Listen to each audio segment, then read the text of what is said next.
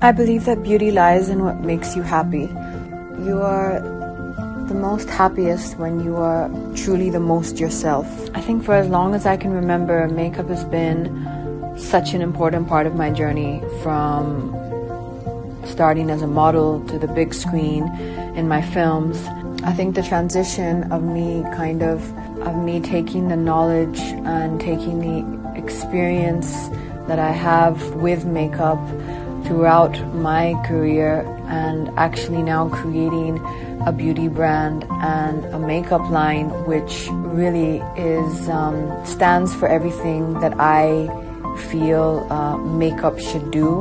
What we wanted Kay Beauty to be is a bridge between high glamour and care. Each product is enriched with ingredients that actually care for your skin, which have been handpicked by us. None of this would have been possible without my partners, Falguni Nayar and Veena, uh, the CEOs of Nykaa, who absolutely just made this dream come true and brought this dream to life. It's been like two and a half years in the making. It seemed like a really long time. Every step of the way has just been incredible. I've enjoyed every step of the journey, right from choosing the name, from choosing the product, from choosing the packaging, from creating the ad film, from sitting with Zoya and her coming up with this incredible script which embodies the emotion that I knew we wanted to say with Kay Beauty.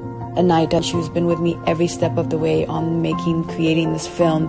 Nayantara, who came down and flew down from Chennai to join us. Saina Nehwal, who I just absolutely love and I think is such an incredible woman.